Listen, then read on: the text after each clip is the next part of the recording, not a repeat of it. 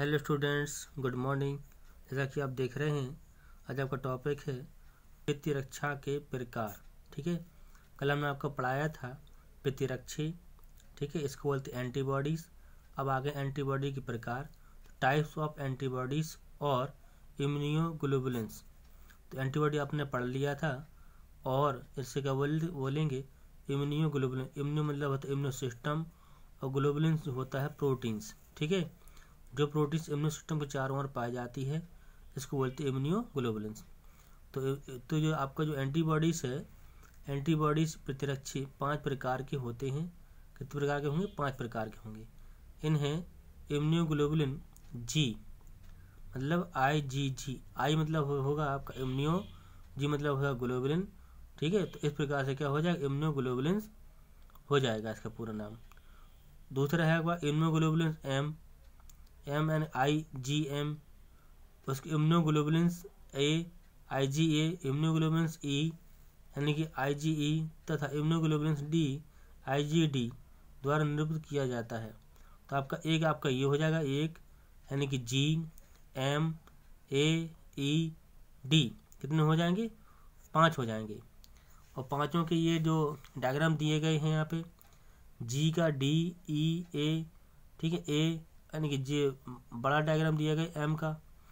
अब बात करते हैं, पहली हेडिंग से बात करते हैं। पहला दिया है इम्यूनोग्लोबुलिन्स यानी कि जी आई जी जी ठीक है? तो इसका मतलब ये होता है, यह सीरम में मतलब ब्लड में जो ब्लड होता है, क्या होता है? जो रक्त होता है, रक्त में आपका पाया जाता है सीरम तो उसकी बात हो रही है, यह सीरम में सबसे अधिक मात्रा में पाई जाती है। कौन पाई जाती है? आई जी जी इम्यूनोग्लोबुलिन्स जी तथा संपूर्ण इम्यूनोग्लोबुलिन्स का 80 परसेंट होता है। कितना होगा? 80 परसेंट। दूसरा है इम्यूनोग्लोबुलिन्स के उप वर्गों में अमीनो अम्लों की भिन्न विभिन्नता, इसकी जैव सक्रियता को प्रदर्शित करती है। इम्यूनोग्लोबुलिन्स के उप वर्गों में अमीनो अम्लों की विभिन्नता, इसकी जैव सक्रियता को क्या करती है? प्रभावित करती है। तीसरा आप क्या है? इसके चार उपवर्ग आई जी जी फ़र्स्ट से लेकर आई जी जी फोर में से आईजीजी टू के अतिरिक्त बाकी तीन अपरा प्लेसेंटा को शीघ्रता से पार कर सकती हैं। ये विकसित होते हरभूमि को प्राकृतिक निष्क्रिय निष्क्रिय प्रतिरक्षा प्रदान कर उसकी सुरक्षा करते हैं। इस प्रकार से क्या कर, सुरक्षा करेंगे। तो आपका जिसमें जो डायग्राम बनेगा आईजीजी में, ठीक है जी, आपका आईजीजी में डायग्राम जो बनेगा, आपका ये वाला बनेगा आईजीजी में। ये आपके जो हल्के चेन हो जाएँगे, ये आपके डार्क चेन हो जाएँगे।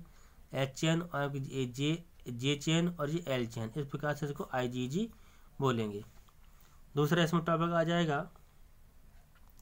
इम्यूनोग्लोबुलिन्स यानी कि एम आई जी एम तो यह संपूर्ण सीरम इम्यूनोग्लोबुलिन्स का पाँच से दस परसेंट भाग होता है।